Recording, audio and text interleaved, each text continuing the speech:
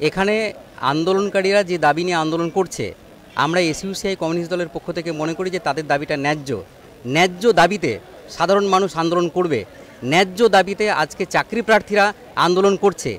এটাই আমাদের লজ্জা হওয়া উচিত যে কেন আজকে চাকরি প্রার্থী যুবকদেরকে রাস্তায় এরকমভাবে বসে থাকতে হচ্ছে। সরকারের উচিত ছিল যে তাদের দাবিটাকে শুনে, তাদের দাবির ন্যায্যতাটাকে মেনে নিয়ে অবিলম্বে চাকরি দেওয়া, তার পরিবর্তে তুলে দেওয়ার যে হুমকি দিচ্ছে, এটা অত্যন্ত দুঃখজনক। যদি এরকম ঘটনা ঘটে তাহলে আমরা তাদের পাশে আছি সাধারণ মানুষ তাদের পাশে আছে তারা পুলিশ তুলতে পারবে না। এই যে তারা রাতের পর রাত দিনের পর দিন আমারও অনশন করছেন এবং রাজ্যের মাননীয় মুখ্যমন্ত্রী বলছেন আমি ন্যায্য আন্দোলনকারীকে আমি পছন্দ করি ভালোবাসি। এনারা কি অন্যায্য?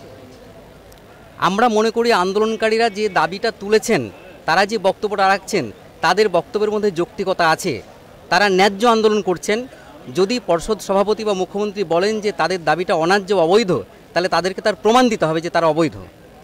মুখ্যমন্ত্রী বলছেন বিস্তারিত আমি জানি না যা বলবে বার্তা বসু বলবে মুখ্যমন্ত্রী বলছেন আমি বিস্তারিত জানি না সমস্ত এই বিস্তারিত জানেন বার্তা বসু ভালো উনি বলবেন।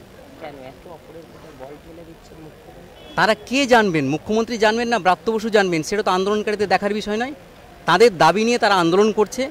তাদের আন্দোলনের অ্যাড্রেস কে করবে, কে দেখবে, সেটা তো মুখ্যমন্ত্রীর উচিত ঠিক করে দেওয়া চাপানুতরের মধ্যে দিয়ে বাস্তবে তাদের দাবিটাকে অস্বীকার করা হচ্ছে।